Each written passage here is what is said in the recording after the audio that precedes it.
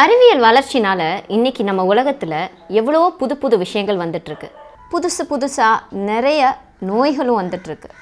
ஒரு ஆன்சர் கண்டுபிடிக்கிறதுக்கு முன்னாடி கொஸ்டின்ஸ் வந்து நம்ம வாழ்க்கையில் வந்து அரைஸ் ஆகிட்டுருக்கு அப்படி வந்தது தான் இந்த கொரோனாவும் ஆனால் என்ன மாற்றங்கள் வந்தாலும் நம்மளுக்கு அத்தியாவசியமான முறைகளை ஆண்டாண்டு காலமாக பழங்காலத்திலே கண்டுபிடிச்சி வச்சுருக்காங்க நம்மளுடைய முன்னோர்கள். அதெல்லாம் இப்போ தாங்க நம்மளுக்கு யூஸ் ஆகுது. ஆரம்ப காலத்தில் வீட்டுக்கு முன்னாடி மஞ்சள் தண்ணி தெளித்து கோ கோலம் போடுறது வந்து வாஸ்தவம். வழக்கமும் கூட. இன்றைக்கி அந்த வழக்கம் மாறி போயிடுச்சு. ஏன்னா போடுறதுக்கு மண் தர இல்லை. எல்லாம் சிமெண்ட் தரையாயிடுச்சு அது தப்பு இல்லை. ஆனால் இன்றைக்கி நம்மளை பாதுகாக்கிறதுக்காக நம்ம என்ன பண்ண போகிறோம் நிறைய பேர் வீட்டு முன்னாடி மஞ்சள் தண்ணி தெளிங்க. உங்களுக்கு சாண்ட் சானிடைசர் இல்லையா? வாங்க முடியலையா? இல்லை கிடைக்கலையா? இல்லை தடை போட்டிருக்காங்க என்னால் வீட்டை விட்டு வெளியே போக முடியலன்னு நினைக்கிறவங்க மஞ்சள் தண்ணியில் தயவு செஞ்சு உங்கள் கைகளை கழுவுங்க. இது வந்து ரொம்ப பெரிய உதவியாக இருக்கும். பூண்டு இஞ்சி தேன் அது மட்டும் இல்லாமல் நிறைய சிட்ரஸ் ஃப்ரூட்ஸ் அதாவது லெமன் ஆரஞ்சு இப்படிப்பட்ட பழங்களையும் நிறைய சாப்பிடுங்க. நிறைய பேர் வந்து வீட்டில் ஃப்ரீயாக இருக்கும். வெயில் காலம் ஃபேஸ் பேக் போடலாம் அப்படின்னு சொல்லிட்டு அத்தியாவசியமான டொமேட்டோவோ பப்பாயாவோ இதெல்லாம் எடுத்து யூஸ் பண்ணாதீங்க.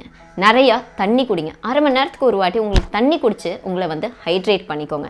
ஏன்னா ஒவ்வொரு காய்கறியும் ஒவ்வொரு பழமும் இந்த நிமிஷத்தில் யாரோ ஒருத்தருக்கு பெரிய உதவியாக இருக்க போகுது. ஸோ அதை நம்மளே வந்து வீணாக்கணும்னா கண்டிப்பாக அடுத்த நாள் நம்ம தான் கஷ்டப்பட போகிறோம் அண்டு இது தேன் தேனோட கொஞ்சம் இஞ்சி. டேஸ்ட் நல்லாயிருக்கும் எனக்கு சின்ன வயசுலேருந்தே இது சாப்பிட்றது ரொம்ப பிடிக்கும். இன்றைக்கி இதை விட பெரிய மருந்து எதுவும் கிடையாதுன்னே சொல்கிறாங்க அவ்வளோ ஆன்டி மைக்ரோபியல் ஏஜென்ட்ஸ் இருக்குது என்ன சொல்கிறது நம்மளுக்கு நம்மளை வந்து பல்வேறு நோய்கள்லேருந்து தடுக்கக்கூடிய இம்யூனிட்டி பவரும் சத்தும் இதில் இருக்குது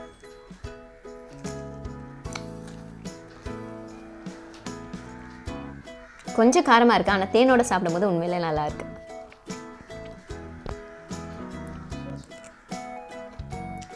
அதே மாதிரி இது மாதிரி நிறைய இஞ்சி பூண்டு தேன் இதெல்லாம் கலந்து கஷாயமாகவும் நீங்கள் குடிக்கலாம். இது என்ன பண்ண நம்மளுக்கு பண்ண போகுது அப்படின்னு கேட்டிங்கன்னா இது ஒன்றும் கொரோனாவை தடுக்க போகிறதுன்னு நான் சொல்ல போகிறது இல்லைங்க. ஆனால் உங்களுக்குடைய இம்யூனிட்டி பவரை இன்க்ரீஸ் பண்ண போகுது. உங்களுக்குடைய எதிர்ப்பு சக்தை வந்து இன்னும் இது அதிகமாக்க போகுது. அது மட்டும் இல்லாமல் இது ஒரு பெரிய ஆன்டி மைக்ரோபியல் ஏஜென்ட் நான் முன்னாடியே சொன்ன மாதிரி. ஸோ பாக்டீரியாவோ ஃபங்கஸோ வைரஸோ உங்களை தடுக்காமல் உங்களை வந்து அணுகாமல் இருக்கிறதுக்கு இது பெரிய தடுப்பு சுவராக இருக்க போகுது. ஸோ எல்லாரும் நல்லதே சாப்பிடுவோம். மனதால் இணைஞ்சிருங்க சரியா? ஆனால் உடல் அளவில் பிரிஞ்சிருங்க. இப்போதைக்கு இந்த சூழ்நிலை தான் நம்ம எல்லாருக்கும் அத்தியாவசியமானது அவசியமானது.